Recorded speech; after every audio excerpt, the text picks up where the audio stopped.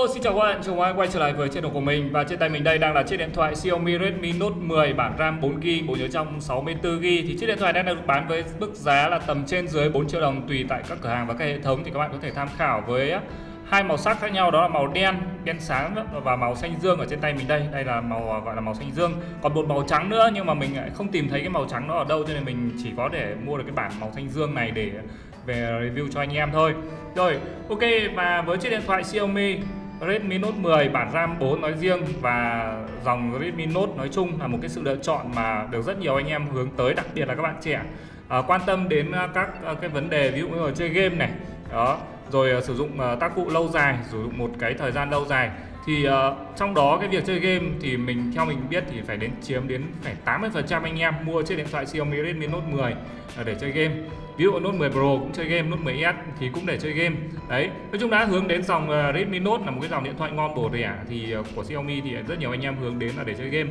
Và trong khi uh, và trong cái việc chơi game này thì có một cái cái mà của dòng Xiaomi hỗ trợ cho anh em ta rất là tốt về cái vấn đề chơi game đó là game turbo À, tuy nhiên là ở trong cái phần game turbo của chiếc điện thoại uh, Xiaomi Redmi Note 10 này ở trên phiên bản ở trên tay mình đây đang là phiên bản 12.0.3 còn anh em nào mà sử dụng uh, cái bản mới nhất đó là 12.0.11 thì mình uh, đang muốn trải nghiệm trên cái bản 12.0.3 này cho nên mình chưa muốn up lên cái bản 12.0.11 uh, có rất nhiều anh em chia sẻ rằng nó sẽ không hỗ trợ cái việc đổi giọng nói trong game turbo như mình đã chia sẻ trên chiếc điện thoại Xiaomi Redmi Note 10s đúng không ạ?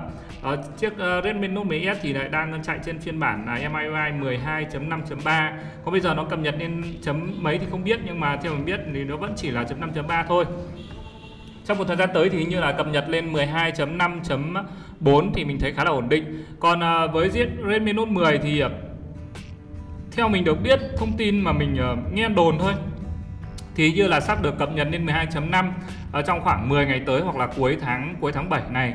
Thì uh, hoặc là sang đầu tháng 8 thì mình không rõ nữa. Thì anh em nào biết thông tin này thì để lại comment phía bên dưới nhé cảm ơn anh em rất là nhiều.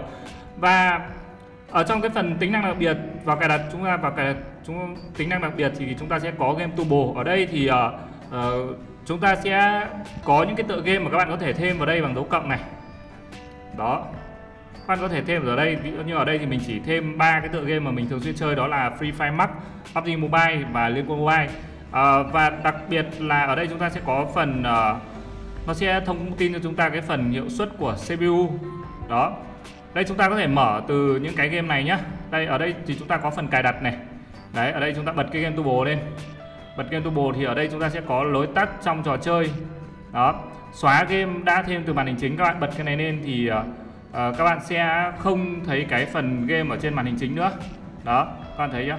Sẽ không có cái phần game ở trên màn hình chính nữa. Thì uh, nó, tất cả thì nó sẽ đều thông qua cái phần uh, phần phần game ở trong game turbo này. Rồi uh, ngoài ra thì chúng ta sẽ có gỡ cài đặt game hỗ trợ gỡ cài đặt game. Các bạn ấn vào các bạn bấm vào gỡ cài đặt. Gỡ cài đặt này ok, đó. Ở đây nó sẽ thống kê luôn cho game chúng ta chúng ta không cần phải vào cái phần quản lý ứng dụng. Nó rất là lằng nhằng, nhiều ứng dụng, đúng không ạ? Ở đây sẽ có hướng màn hình chính, hướng ngang hoặc hướng dọc. Lối tắt màn hình chính này, rồi ờ, chúng ta có chế độ hiệu suất. Ở chế độ hiệu suất này thì sẽ tối ưu wifi, giảm độ trễ mạng wifi. Và tối ưu điều khiển cảm ứng thì những cái phần này thì phải, mình phải trải nghiệm thì mình biết được, đúng không? Nhưng mà thực tế thì ờ, với chiếc điện thoại Xiaomi Redmi Note 10 này thì chúng ta sẽ khó mà cảm nhận được cái phần mà nó hỗ trợ của chúng ta. Đó. Ở đây có phần bộ nhớ ngoại lệ. Đấy, ở trong cái phần bộ nhớ ngoại lệ này thì rất nhiều anh em thắc mắc thì bộ nhớ ngoại lệ nó là cái gì? Bộ nhớ ngoại lệ ở game turbo ở Xiaomi thì nó chính là cái phần mà các bạn bật cái phần này lên thì nó sẽ có ba cái game này là đang khi mà bật cái game ví dụ mình bật cái liên quân mobile thì PUBG Mobile và Free Fire nó vẫn hoạt động được đấy còn những cái trò chơi này thì nó sẽ không thể hoạt động được khi mà chúng ta bật cái bật cái game, ví dụ như mình bật game liên quân lên. Ok, và chúng ta sẽ có phần trải nghiệm nâng cao. Thì ở đây chúng ta sẽ có tắt độ sáng tự động này, tắt chế độ đọc sách này, chặn cử chỉ chung màn hình và không mở thanh thông báo. Thì cái này các bạn nên bật lên nếu như các bạn chuyên tập trung vào chơi game nhé nếu các bạn tập trung chơi game, các bạn nên bật cái này lên. Ví dụ như các bạn đang chơi game mà nó có một cái thông báo messenger, thì thực sự là nó cực kỳ là khó chịu. Đang combat tự dưng nó nháy cái như này cả các chúng ta phân tâm đúng không? Mà ví dụ đang combat căng thẳng mà có một cái thông báo như vậy thì rất là ức chế và có thể sẽ khiến chúng ta thua toàn tập luôn. Đó. Rồi uh, chúng ta sẽ có cái giới hạn phím và cử chỉ giới hạn phím và cử chỉ toàn mình khi chơi game. Nó sẽ hạn chế cái uh, giới hạn cái phím và cử chỉ này thì chúng ta tránh ấn nhầm. Đấy ở chúng ta chúng ta có cái thêm phần cài đặt bổ sung. Đấy thì ở đây chúng ta có thể là ví dụ mình vào tự game Lincoln Mobile này thì nó sẽ có phần phản hồi cảm ứng này độ nhạy với những lần chạm liên tục này. Đấy rồi khu vực không tiếp xúc giảm độ nhạy gần các cạnh kích hoạt điều khiển cảm ứng giữ thiết bị của bạn theo các khu vực được đánh. Đây các bạn có thể là gia tăng cái này lên để các bạn nó có thể là giảm cái độ nhạy của những cái khu vực không tiếp xúc để các bạn tránh ấn nhầm. Đó ngoài ra chúng ta có thể khôi phục cả mặc định của cái game turbo này. Rồi đó là cái, cái phần cài đặt trong cái phần game turbo này. Đó ngoài ra thì khi mà chúng ta vào trong game turbo ở đây mình sẽ bật lên này, game turbo này, game turbo đâu này game turbo ở game turbo ở phần ngoài phần màn hình chính này, ở đây có không? Ở đây sẽ không có à đây, ở đây. Ngay đây. Rồi game turbo ở phần ngoài màn hình chính, mình nhớ là có mà. Rồi bây giờ thì mình sẽ bật cái tựa game lên mobile để vào đây chúng ta sẽ có đi vào chi tiết phần game turbo này hơn. Rồi, ở đây chúng ta sẽ nhìn thấy một cái phần thanh mờ mờ ở phía góc này. Đấy, các bạn gạt lên gạt sang này. Đó các bạn sẽ thấy một cái thanh dạng như thanh công cụ game turbo ở đây. Chúng ta sẽ có là GPU 20% CPU 34% 60 fps um, giờ và pin. Đấy thời gian và pin này 12 giờ 04 ở trong cái thanh phía bên trên này chúng ta sẽ có những cái ví dụ như cuộc gọi này Facebook này trình duyệt này danh bạ này Google Maps này rồi YouTube này vân vân mây mây. Ví dụ như mình uh, sử dụng Facebook thì ở đây nó sẽ có một cái bảng uh, Ờ, dạng kiểu một cái màn hình nho nhỏ để chúng ta có thể lướt Facebook đồng thời trong quá trình chúng ta chờ vào game. Đấy chúng ta chờ game chúng ta lướt Facebook cách rất đơn giản và dễ dàng đúng không ạ? Các cái ứng dụng khác thì cũng tương tự như vậy. À, mình nói ví dụ như là chúng ta có thể uh, uh, cuộc gọi này. À ứng, ứng dụng nhưng mà không không cài đặt được. Đây danh bạ này. Đấy danh bạ từ Google đúng không ạ? Rồi đó là về cái phần uh, một cái phần thanh trên này. Phía bên tay phải này chúng ta sẽ có một cái phần là chụp ảnh màn hình này quay phim màn hình này tăng tốc này đấy chụp ảnh màn hình này. Đó chúng ta sẽ có phần chụp ảnh màn hình đúng không ạ? Rất đơn giản và chúng ta không cần phải thao tác như này mà chúng ta bật thanh công cụ từ trên xuống này nó sẽ uh, mất đi cái khoảnh khắc đúng không? Đó rồi đây sẽ là quay màn hình này. Đấy.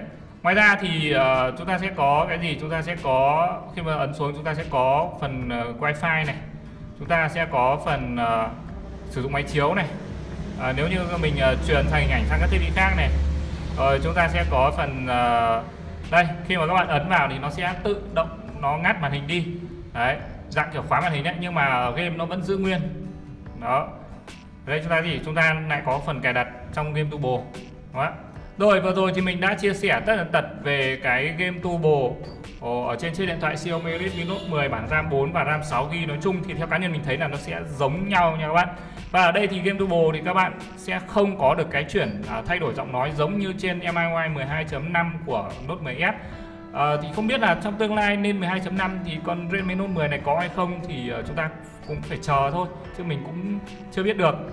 Còn Note 10s thì ở trên 12.5.3 thì là có cái thay đổi giọng nói đó cái đó là rất nhiều anh em ờ, ưa thích để mang đi có thể là lừa tình đúng không? hoặc là giải trí hoặc là chôn bạn bè rồi ở trong phần game turbo thì ờ, cái nào chúng ta nên sử dụng thì mình cũng chia sẻ cho anh em luôn. Trong game turbo thì mình khuyên anh em nên sử dụng cái phần thứ nhất là chế độ hiệu suất này. Đấy mình nghĩ là nó sẽ ok. Thứ hai là sẽ có bộ nhớ ngoại lệ này. Thứ ba là tối ưu hiệu suất này. Đấy hiệu suất tránh quá nhiệt và các vấn đề liên quan phần cứng. Rồi cái trải nghiệm nâng cao là cái cần thiết nhất các bạn. Nên bật cái phần thanh thông báo lên.